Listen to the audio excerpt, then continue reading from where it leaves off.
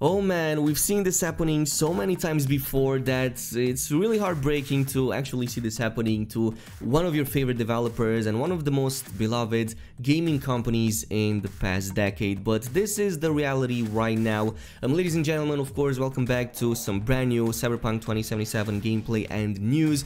And oh boy, does the news deliver for today, thanks to a brand new article by Jason Schreier. I believe that in the back of our minds, ever since the game's launch over a month ago, we always wondered what the heck happened over at CDPR for a game such as this to launch in the state we all know of. Well, inside Cyberpunk 2077's disastrous rollouts is the title of the recent article and it fully on explains what actually went down. There's an interview with more than 20 current and former CD Projekt Red staff, most of whom requested anonymity so not to risk their careers, which depicts a development process marred with unchecked ambition, poor planning and technical shortcomings. Employees discussing the game's creation for the very first time described a company that focused on marketing at the expense of development and an unrealistic timeline that pressured some into working extensive overtime long before the final push. And yeah, this comes in full circle with the apology video that we had a few days ago where one of the leads over at CDPR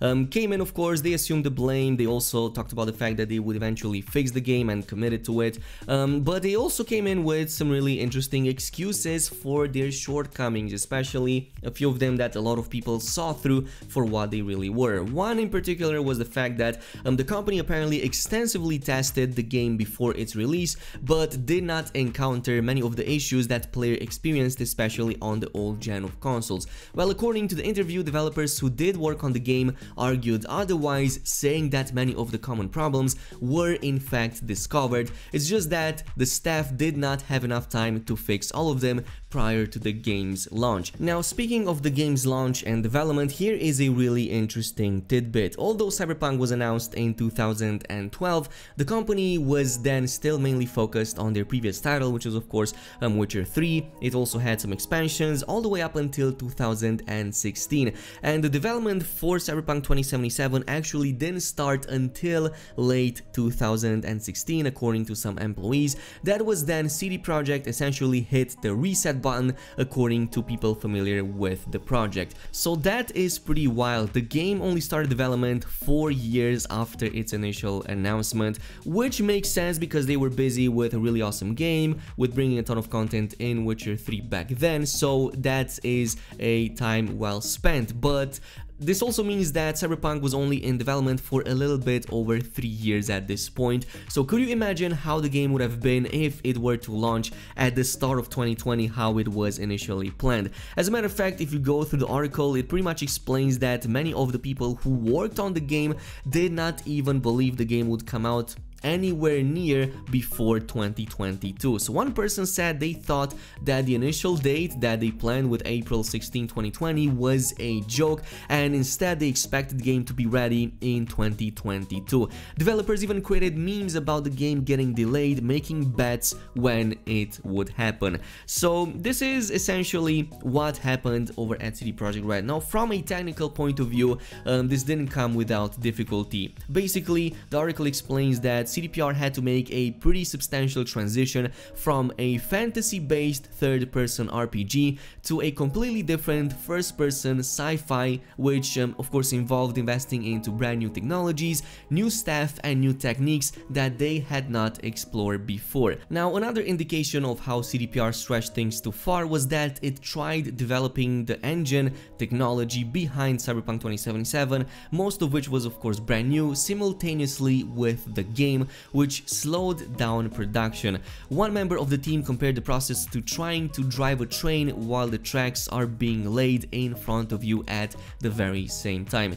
Another very big obstacle that uh, seems to have risen very early in the development was the fact that at least the heads over at CDPR changed directions completely very early on in the development process. So this explains the studio head Adam Badowski took over as a director, demanding overhauls to Cyberpunk's gameplay and story. For the next year, which in this case seems to imply it was 2017, everything was changing, including fundamental elements like the gameplay perspective.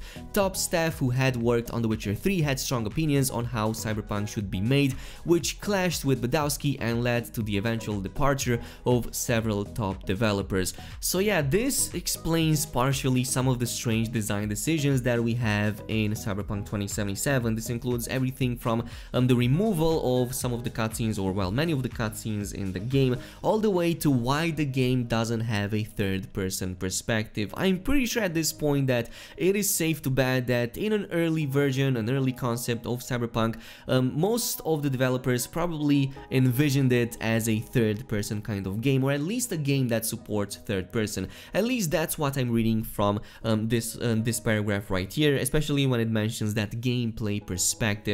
Like, um, it doesn't make sense for us to have so many customization options, for it to be so rich in detail when it comes to your character's development, only for it to be fully on first person and almost never see that outside of maybe just some photo shoots and um, a few mirrors here and there. So that was a pretty lost opportunity right here which is again a pretty big shame. Like so many people wanted this game a third person um, and we finally have closure on that. It was probably intended at some point for this game to be in the third person as well. Now the part of the article that to me is most shocking is the one regarding the trailer at E3 2018 um, which again is a trap that a lot of developers in the past fell into and even more so some that were very beloved only for them to fall from the um, consumer's grace. So much of the CD Projekt's focus, according to several people who worked on Cyberpunk, was on impressing the outside world.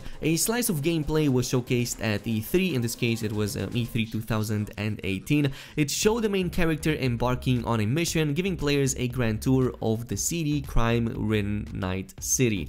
Fans and journalists were wowed by Cyberpunk's ambition and scale, what they didn't know was that the demo was almost entirely fake.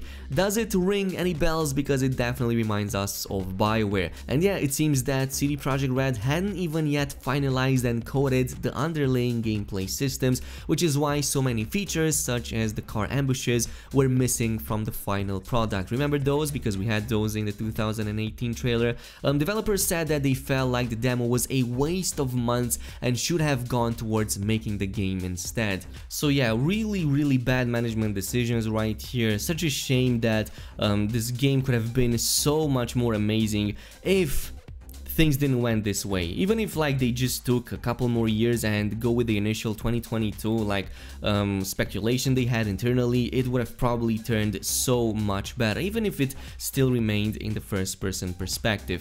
Moving on though, there is another important topic over here that needs to be discussed, which is of course um, the lack of many of the features that were promised in the game but eventually never delivered upon or simply were scaled down to a fraction of what was initially intended. Like even Night City was supposed to be way bigger than this, um, probably we could say the same about car customization and even the length of the story. Um, what's uh, certain is that many of the scrapped features like wall running and other types of attacks and mechanics were also scrapped or downsized simply because the company did not have a big enough staff for what they wanted to do with the game and even more so did not have enough time.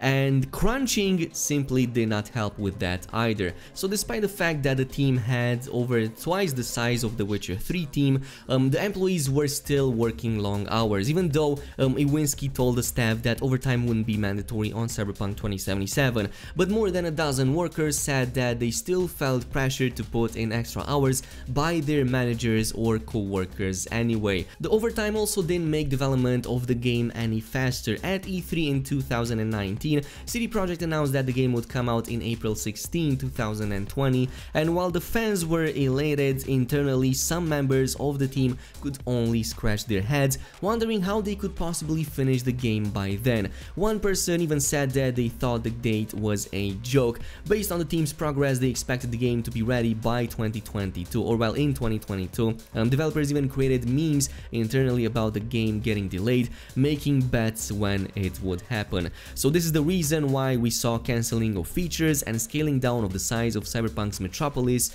um, which also helped with that, but it also meant we only get a fraction of what was initially um, at least promised. But the team's growth hampered some departments, developers have said. Um, at the same time, the article explains CD Projekt remained understaffed.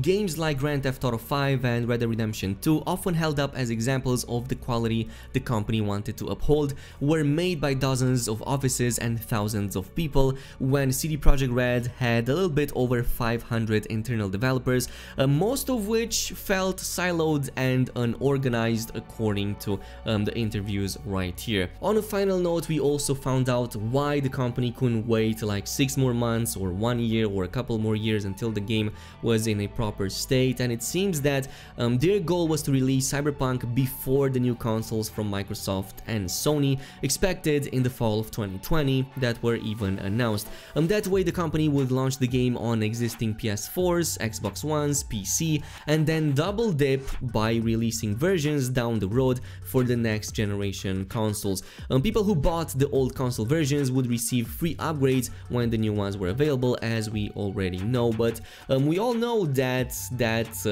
ended up in a in like the worst situation possible with the game getting completely delisted from one of the biggest platforms on the planet. Um, some engineers even realized that Cyberpunk was too complex of a game to run well on the 7-year-old consoles with its city full of bustling crowds and hulking buildings. Um, they said management dismissed their concerns however citing their success in pulling off The Witcher 3. So again, remember how it went for uh, for BioWare, like um, that same old BioWare magic? Well, apparently CD Projekt Red pulled a BioWare magic on their staff as well, um, citing their success with The Witcher 3. So this is the current state of events. Of course, the article goes in a bit more length and explains a little bit more than I just mentioned, but I think that these are the main points right here. So, you know what? We're still gonna continue playing the game. Of course, I'm still excited about the future of the game. It's just a shame to see the company falling into the pits um, that so many previous to them fell before and into these temptations that um, lead to nowhere basically.